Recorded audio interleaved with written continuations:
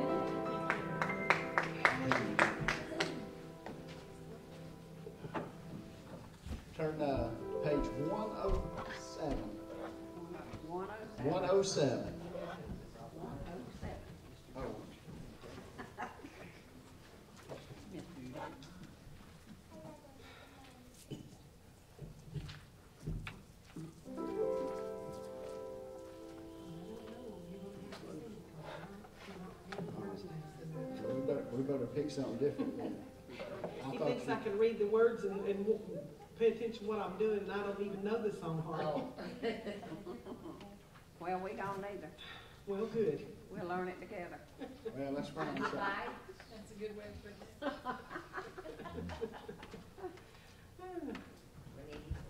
How about one thirty-nine?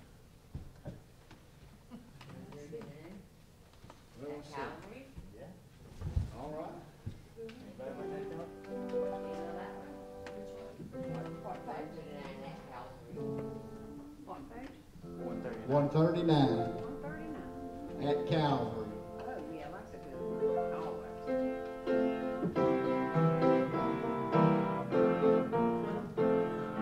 Years I spent in vanity and pride, caring not my Lord was crucified, knowing not it was for me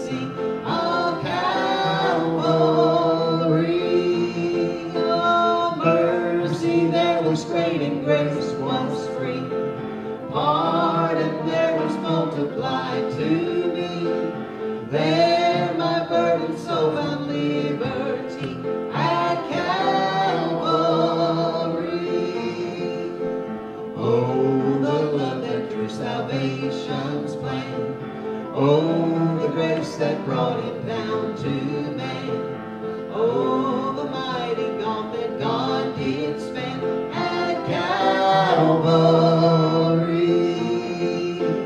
Mercy there was great and grace was free. Pardon there was multiplied to me. There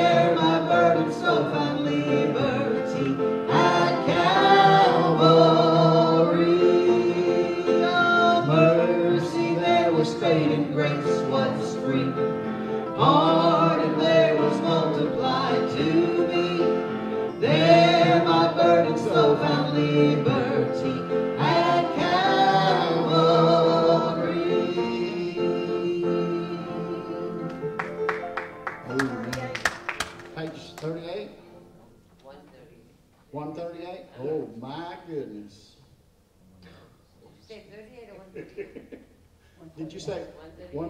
okay.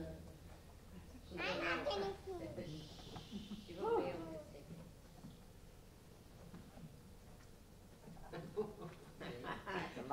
I'm gonna let you lead this one.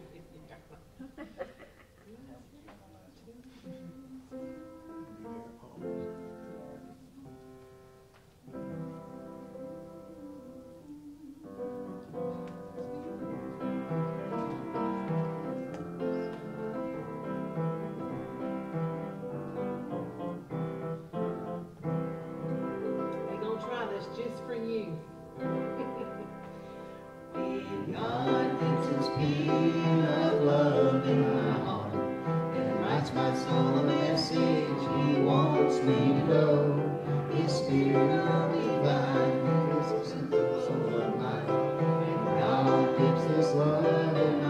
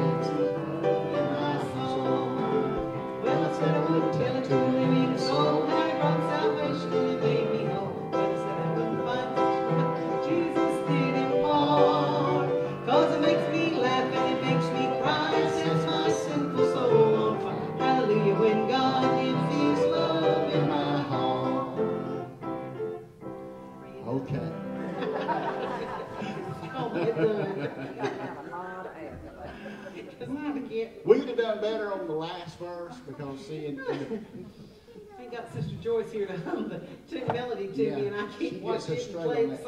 So, uh, it, but now in the Baptist church on Wednesday night service, you sing the first and the last. And see, we would have been good on the first and the last. But when we hit that second verse, we had no idea. Amen.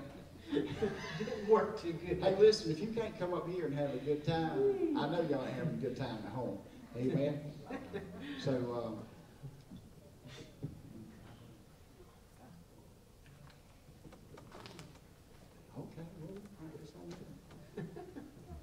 about 279? Let's let's sing one one that we know.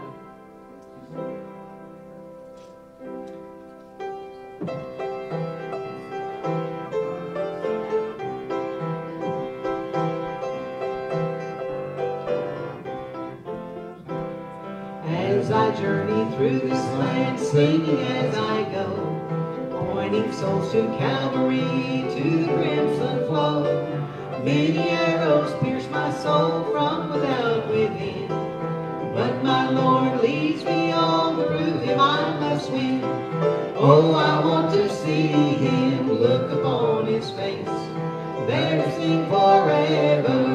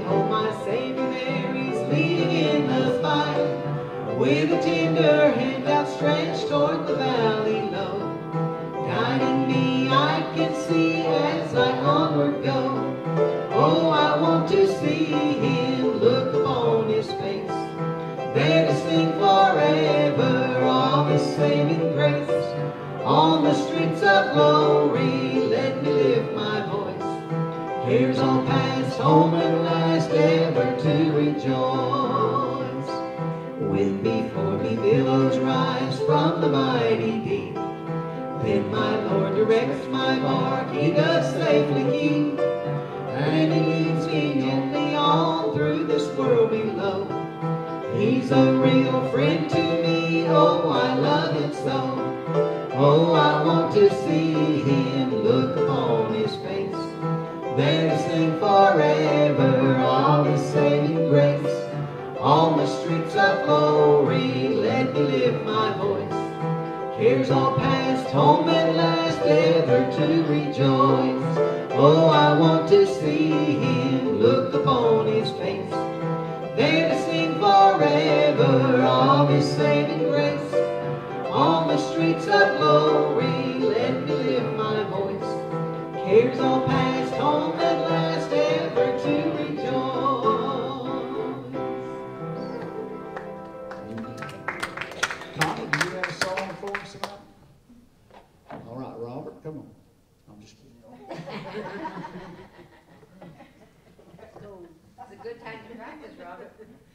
Yeah. He'll practice on one at home. He'll sing for us one day, won't you? If you got that one that he can sing, he go up there. One day. I know he would. Yeah, yeah. He can sing. I heard him just sing. That's right, he can. He can sing. But he's just, you know, you know how it is first time you get up in front of people to sing. Right. I know how it is, son. Right. I ain't scared, so I've never seen before. Uh, Go ahead. I never seen in front of anyone. well, you know what? I didn't do fish the other way. Hey, all of us. That's the way all of us. Praise the Lord. Many's looking for Beulah land? Praise the Lord.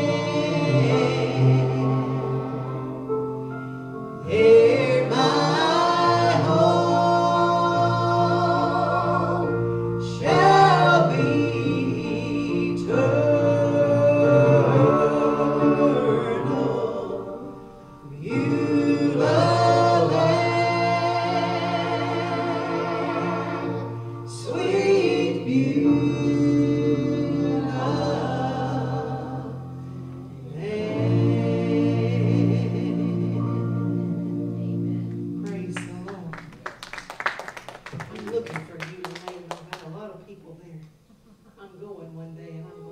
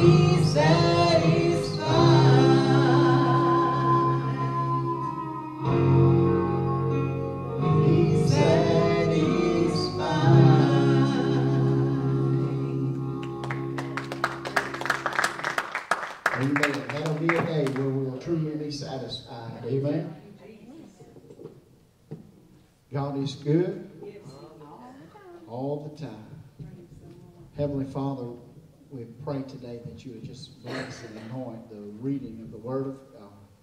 God, I pray that you'll just touch in this time. God, that you'll hide me behind the cross. God, little will be made of me and much of you. In Jesus' name, amen and amen. Turn your Bibles, if you will, to the book of Hebrews. Hebrews chapter 11.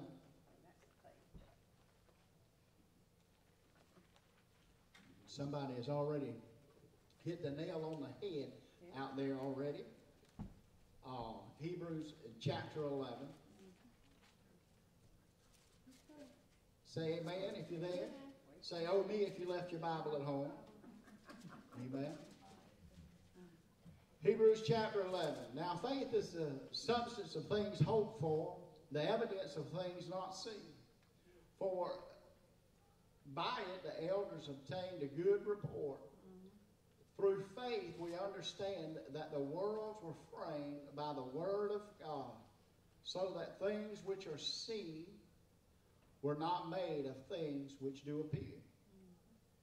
By faith, Abel offered unto God a more excellent sacrifice than Cain, by which he obtained witness that he was uh, righteous, God testifying of his gifts, and uh, by being, by he being dead, yet speaking. Enoch, by faith, Enoch was translated that he should not see death and was not found because God had translated him. Therefore, his translation, he had uh, this testimony that he pleased God. But without faith, it is impossible to please him. For he that cometh to God must believe that he is, and that he is a reward, a rewarder of them that diligently seek him. Noah, by faith, and Noah being warned of God of things not seen as yet, moved with fear, prepared an ark to the saving of his house, by which he condemned the world and became heir of the righteousness which is by faith. Abraham and Sarah, beginning in verse 8, by faith, Abraham, when he was called to go out into a place which he should, uh, after receive for an inheritance, obeyed. And he went out not knowing whether he went. By faith, he sojourned in the land of promise, as in a strange country, dwelling in tabernacles with Isaac and Jacob, their heirs with him of the same promise. For he looked for a city which hath foundation, whose builder and maker is God. Through faith also Sarah herself received strength and conceiveth seed, and was delivered of a child when she was past age, because she judged him faithful who had promised. Therefore sprang there even of one, and him as of good as dead, so many as the stars of the sky in the multitude, and as the sand which is by the sea shore innumerable. These all died in faith, having received the promise, but having seen them from afar off, and were persuaded of them, and embraced them, and confessed that they were strangers in a pilgrim land. For they that say such things declare plainly that they seek a country. And truly, if they had been mindful of that country from whence they came out, they might have had opportunity to have returned. But now they desire a better country that is in heavenly. Wherefore God is not ashamed to be called their God, for he hath prepared for them a city. By faith, Abraham, when he was tired, offered up Isaac. And he that had received the promise offered up his only begotten son. Of him it was said that in Isaac shall thy seed be called. According that God was able to raise him up even from the dead, from whence also he received him in a figure. Amen. We'll stop reading there after verse 19. I want to talk today about heroes of faith. Amen. Heroes of faith. And if you read this book, this is a chapter of faith, as it's been said before. There's a lot of heroes of faith in this Bible. Uh, there's some folks in this Bible got some more faith than, than most of us have. Amen. Oh, yeah. Uh, they got a lot more faith than most of us have. Amen. Yes. Uh, I, I want you to think just for a little bit about uh, uh, Cain and Abel, and uh, one of them got in trouble because uh, when it come time to bring a sacrifice, uh, they brought uh, they brought the fruit of the land. They just brought the fruit that was laying out on the ground that they, they picked up, and it was the fruit of the land, and, and it really didn't mean that much to them. It really wasn't that great of a sacrifice, but they brought it anyway and give it to the Lord. How many times are we guilty of the same thing? What we give really isn't a great sacrifice to us. We're, just giving out of abundance. We're not really, we're giving out of abundance. We didn't really dig uh, for that offer. We didn't really dig deep. You see, there's tithes and there's offerings. Amen. I don't know if y'all know the difference in that, but there's tithes and then there's offerings. See, that tithes, that's the tenth. That's already his. Everything you have is already his. He just asks you to give him a tenth of it back in tithes. But then that offering is above and beyond. That offering could be of your talents, could be of your time, could be of your uh, treasures. Amen. And God, God wants an offering from us. And so he, he didn't really dig too deep to get that offering. He just picked up some little old fruits up off the ground. But then the other, he give the fatted meat.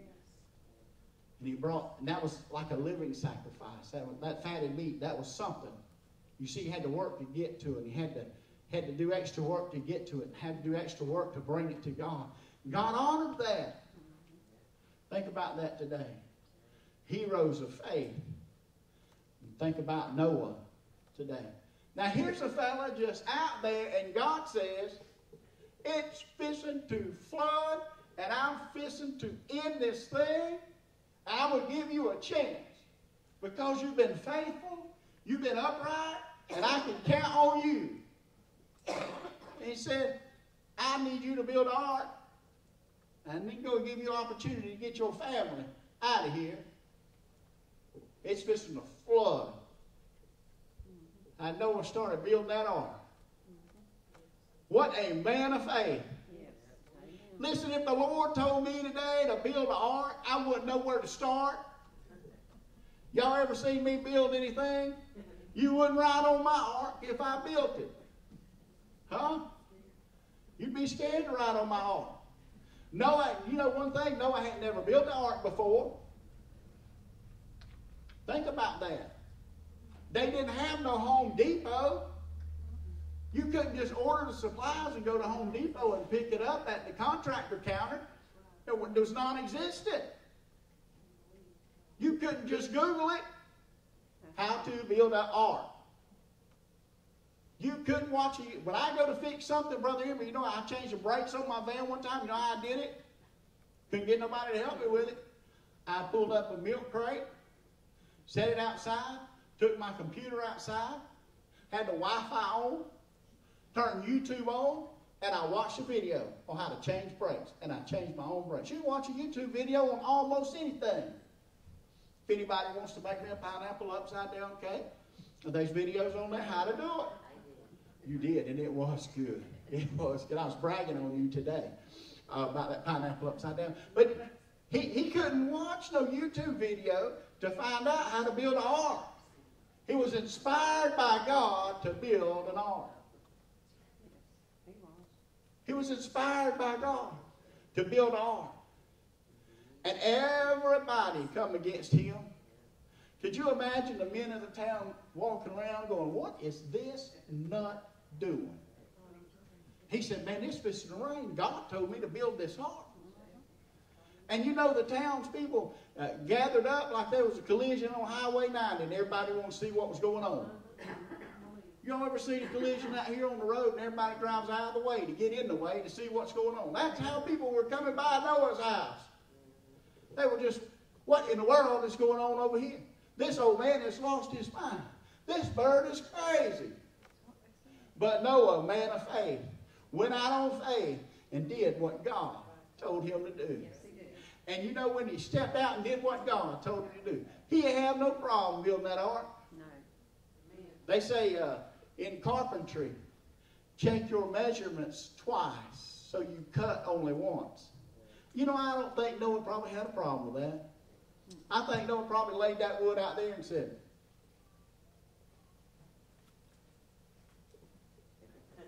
because the ark's pretty big. Yeah, Real. Say, I think that's where I need to cut it. Didn't even have a sawzall. How in the world would you do it when I can't do nothing in the house without a sawzall? Brother Emery, what you doing? I'm down at nursing home visiting Sarah. Okay, well, when you finish, you mind bringing me your sawzall because I got a little something I want to work on. That's how it works in today's age. He didn't have a sawzall. Man of faith started out without a sawzall and a YouTube video to build an ark. You know what happened? Because of his efforts, his family. Say he built the ark. And everybody said, man, it ain't rained in so long. What are you talking about? Rain. What is this? What is this? What is this? He said, man, I'm telling you, God's just opened up heaven, going to pour out rain. It's going to flood. The water's going to come up, and everybody's going to perish. Oh, man, you crazy. We ain't never seen nothing like that before. You are crazy. How many of your friends think you're crazy for sitting up here on Thursday night in the house of the Lord? Huh? Lots of them. Lots of them. Amen. But he did what God told him to do, and God honored that. And two by two, he loaded those animals up on the ark. There's some of those animals I wouldn't have put on the ark. Huh? You, do you think I'd have put a lion on, on my boat? Would I put a couple of bears on my boat? Huh? If you've seen anything I've built, there's no way you would load an elephant on it, let alone two. But he was a man of faith. What was the joke about this? Said, you guys are snakes? He said, no, we're adders. Isn't that what it was? But he told us to multiply. Told us to multiply. We, we can't, we're at He said, we can't, we're adders. you get that on the way home. But listen, he did what God told him to do, and he went out on faith. When you go out on faith and you do what God tells you to do, God will bless. We got some heroes of faith in the Bible. But then I want to tell you, we got some heroes of faith here on earth. And we got some heroes of faith in this church. I'm sure when God told them to build this church, and Sister Joyce said it several times, that they, man, they, they wasn't ready for all this. But God said, do it. And they went out on faith. And when they went out on faith, guess what happened? God honored that. And you are in this place today because God honored their faith. Amen? And He's still honoring their faith. They're going to see a awards banquet tonight uh, for Bailey. God's still honoring their faith tonight, even when they're over there. Well, when they go up to the mountains and they're up in Tennessee on vacation, God's still honoring their faith while they're gone. Because we're still having church and we're still having a pretty good time. We're still praising the Lord. We're still sending out the message. God honors your faith. Here's what I want to ask you today Are you a hero of faith? Are you a hero of faith? It's going to take some things to be a hero of faith. One, know God's voice. You see, when God heard, when Noah heard the voice of God telling him to build an ark, he knew it was the voice of God. And we need to know the voice of God today. Yes, we do. And then he had to act out on the Word of God. He had to act out on what God told him to do. Many times the Lord tells us to do something in the church and we don't act down on it. And somebody misses a blessing in this place because we do not do what God tells us to do. And somebody misses a blessing. How would you like to be the one that caused somebody to miss their blessing. How would you liked to been in Noah's shoes in those days and miss the call of God? And then we think back over our life, how many times have we, Connie, missed the call of God? Whether it be just to pick up the phone and call somebody and tell them how much you really cared about them. Tell them how much they really mean to you. That might be their breaking point. And for you to call them and tell them, Sister, I love you. I'm praying for you. And God loves you. And encourage them. That might have been God's call for you to do that. And you missed that. And so they have to obey God's call. So you have to know God's voice. You have to obey His call. And you have to believe. You have to believe. You have to believe. The problem is, is a lot of folks don't believe. They don't believe in God. And more importantly, they, they, if they do believe in God, they don't believe in the abilities that God give them. They don't believe in what God give them to do. But he had to believe. And that, my friend, is how Noah built the ark.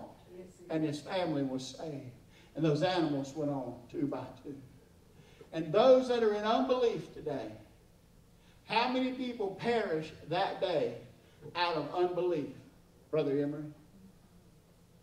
How many people perished of unbelief? Not Noah's unbelief, but their own unbelief. Their own unbelief because they did not prepare.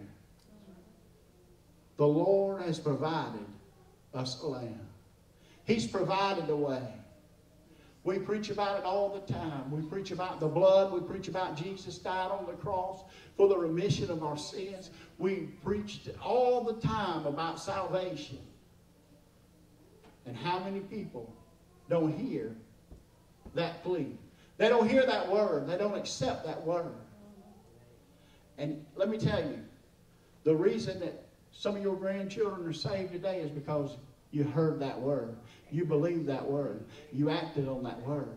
And some of your grandchildren are saved this day. And I want to tell you some more. Your grandchildren probably going to get saved because of the word that you heard, because of the faith that you had, because of the faith that you kept carrying that, that word and you kept carrying it uh, just another gospel mile, just long enough for somebody else to pick up on it. You heard the word of God. You believed it. And some of your folks are going to be saved because of it. Some of your children are saved today because you heard God's voice. And you got into a place where you needed to be so that God could use you. Amen. We're talking about heroes of faith today. There's some heroes of faith in this fellowship of people. And we may go through a couple of sermons on heroes of faith and talk about some of those heroes of faith and some of the things that God was able to do with them. But here's what I want you to get tonight. What can God do with you? What can God do with you? It's awesome what he did with Noah. It's awesome what he did with those folks. But he's got a work for you to do. He's got somebody for you to reach. What can God do through you? To do it, we have to know him. We have to be able to hear him. We have to obey him. And we have to act upon his call. Let me ask you today are you acting on his call? Or are you just sitting? Are you just sitting? There's a famous quote that says a desk is a dangerous place to view the world. Think about that. A desk is a dangerous place to view the world.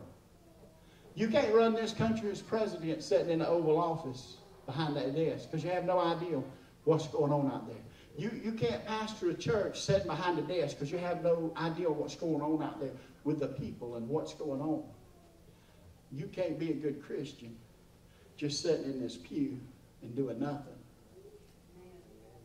Oh man, that, that hits home right there. You can't be a good Christian just sitting in this church and doing nothing.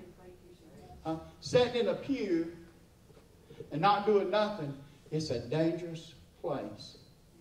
It's a dangerous place. Because you're going to get stagnant. You're going to get stale. Huh? Then you ain't going to be good for anything. We got to get our feet out. We got to get our feet out on the pavement. We've got to get our feet out. We, we've got to get ourselves out. We got to talk to people, encourage people, show people the love of God so they see the love of God in us. We got to act on what God is telling us to do. Who wants to be a hero of faith? Who wants to be the hero of faith in their family?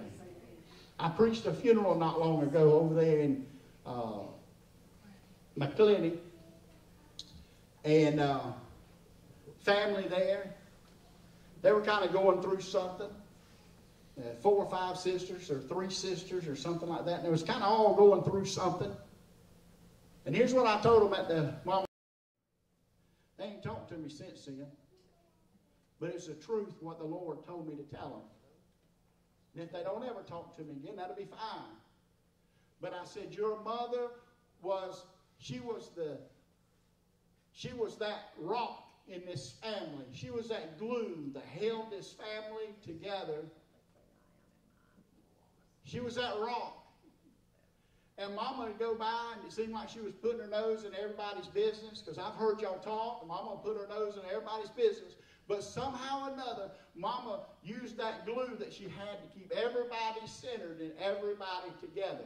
But mama is gone. Somebody is going to have to step up out of this group of people and be that glue. Somebody is going to have to step up out of this group of people. Now, you may choose today that it might be you. And then someone else may say, it's going to be me. And then the other sibling might say, it's going to be me. Guess what? Nothing wrong with that. Then you'll have three rocks in this family, and three rocks will hold this family together better than one rock. Amen. All of us working together for God will do more for this church than one or two. Who wants to be? Who wants to be that one today? If we all step up and bind together, if we all go to work, we can do it. If we all go to work, we can do it. And God will bless each and every one of us. And there'll be no one more important than the other in God's eyes. Amen. Here's where we're going to falter. If we get some glory seekers and we get some folks that's just doing it for the glory of theirself and not the glory of God. That's right. That's exactly right. Listen, I, I don't need glory for myself. I am who I am. As Popeye the Sailor Man said, I am and what I am, and that's all that I am. I'm Popeye the Sailor Man. That's what he said. Listen, I just want to be who the Lord wants me to be. I want to help everybody that I can help. I want to give all I can give, and I want to do all I can do. Are you with me today? Who's on that train? Hallelujah. Glory to God. I pray, Lord, tonight that we would all just dig a little bit deeper. And God, that we would put ourselves in that place where we'd want to be the one that helped. We'd want to be the one that went. We'd want to be the one that did. God, we'd be sensitive to your call. God, that we'd be able to just work in the kingdom of God and do more than we've ever done before because the church needs it today. That we just do more than we ever have done before. And we thank you in Jesus' name. Amen. If you need prayer tonight, come.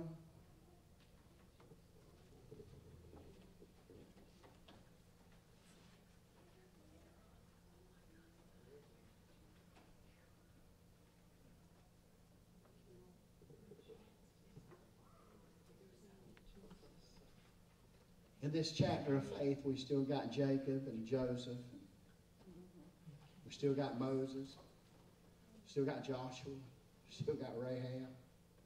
There's a lot of people still in this chapter of faith that we haven't even touched. I don't think you could touch it all in one sermon. There's some great people that God used. Some great people of faith. Amen.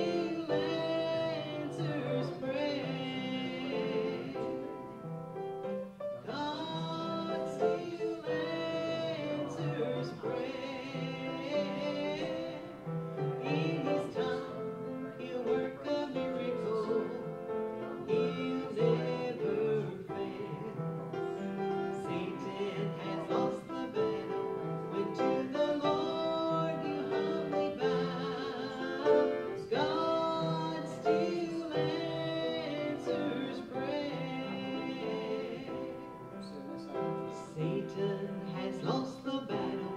When to the Lord you humbly bow, God still answers prayer. Amen. God is good.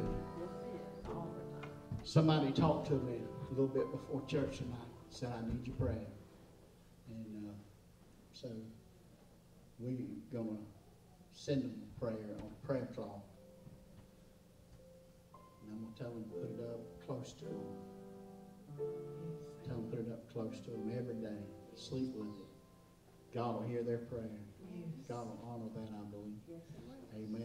Called Brother George up because he's a great man of faith. And I believe that. Amen. I have all confidence that God will hear that prayer. Amen. Amen. Anybody else have a prayer request today that? I do. Yes, ma'am. Uh, I'd like to still remember George and George and myself and, and our families and, uh, this, um, do y'all know a Doc, Rick, uh, Nichols, Doc and Rita Nichols? Well, Doc's son, he's fifty-two years old. I saw him yesterday at the Waffle House, George and I did. And I asked him how he was doing and all. He said, well, you know, he says, I'm doing okay, but he says, my son, that's fifty-two years old, they found out that he has cancer and it's in his lung, it's in, inoperable, and it's already spread to his brain, it's in his lymph nodes and, and him fifty-two years old, and he, you could tell he was heartbroken. I mean, that's the age of my daughter, fifty-two, and mm-hmm. George's daughter. So we know how that is, but anyhow, so I told him about George's miracle, and I said, and you believe in healing, and you believe in the power of prayer, and I said, you know, the Lord can give him a miracle.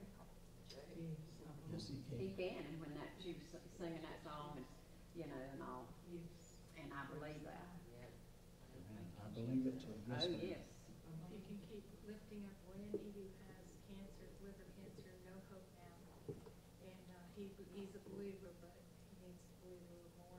It's not quite, you know. I'm not judging him.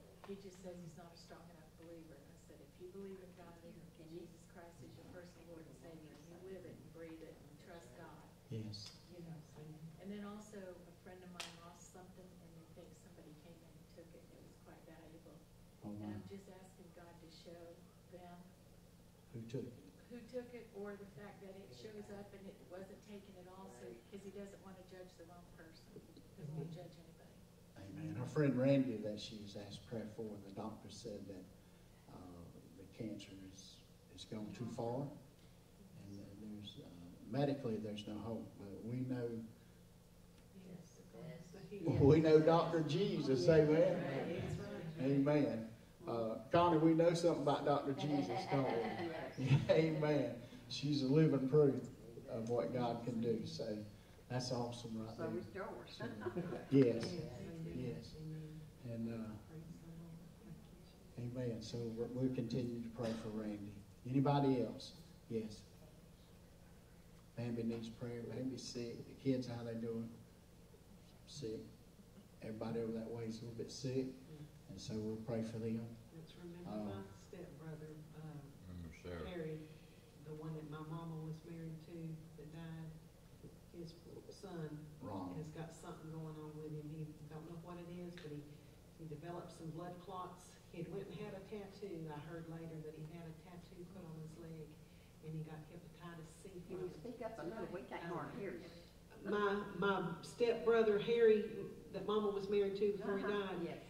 he's about my age. I think he's maybe a year younger or older. I don't know exactly, but um, he's a truck driver and he's always driven trucks as long as I've known him. Him and his daddy both drove, and he was out on the truck. And apparently, while he was out, he got real sick and he come home and went in, went to bed, and he wouldn't get up. And finally, they got him to the doctor, and he had blood clots all through his legs.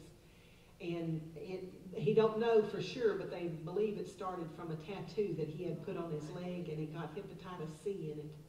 And now he can't use any of his limbs, and uh, we, um, I, his son called me the other night and asked me to have prayer for him and, and talk to my mama, see if mama would call him and pray for him. Said, have grandma call him and pray for him. Said, I, uh, I know that he'll be all right if Grandma will call him. And so Mama called, and when she did, he told her, he said it would just hurt him to even have his hand up like this to the, with his, yeah, he didn't have enough strength, so he had, ended up landing on the pillow and just talking to her. So his name is Ronald Harry. He's uh, my stepdad's. He's passed now. My stepdaddy has, but that's his son, and I've known him 40 years because him and Mama were married a long time, and that was my stepbrother. But um, just pray for him. That mostly uh, save his soul. Uh, You know, we can leave here with lame bodies, but these souls have to be took care of. And if he dies, he's gonna go to hell.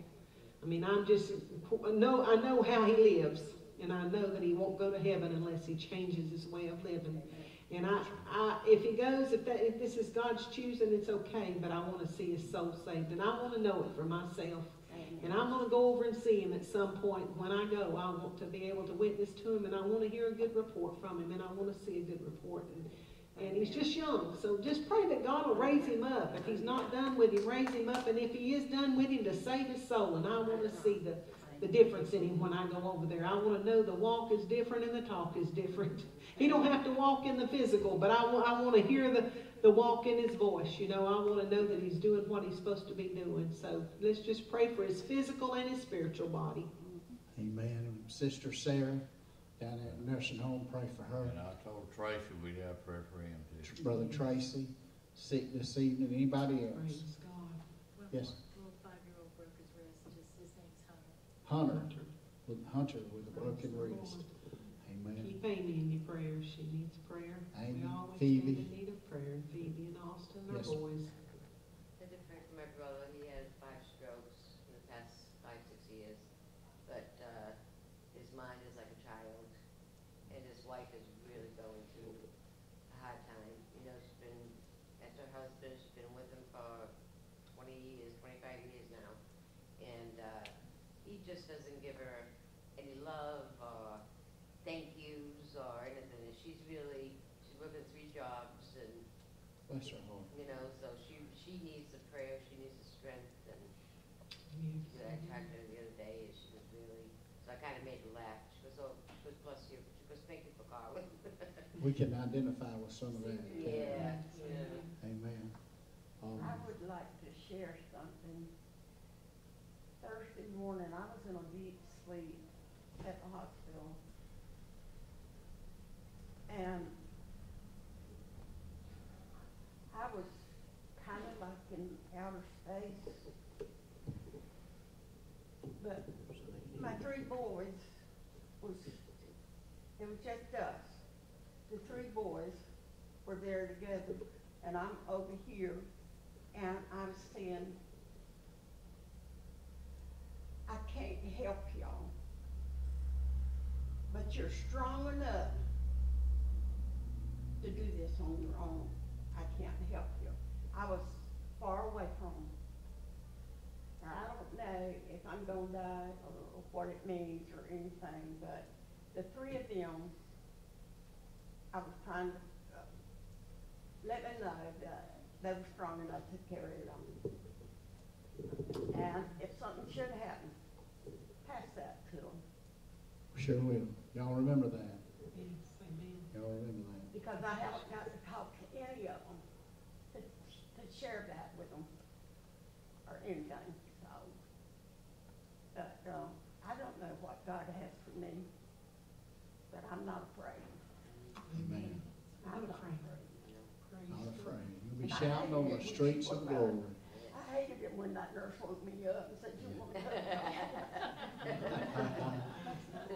I want to go back where I was at. She said she, did y'all hear that? She said she hated it when the nurse woke her up for a cup of coffee. She wanted to go back to where she was. It was, I was in, it was just awesome. There was, I could see nothing. It was just space.